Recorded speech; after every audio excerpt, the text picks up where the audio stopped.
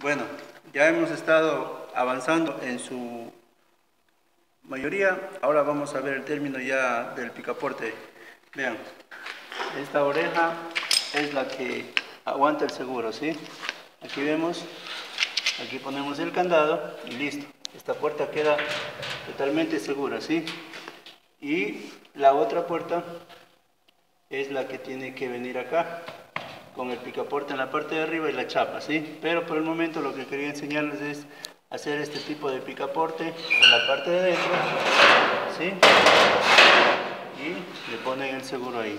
Listo. Gracias amigos.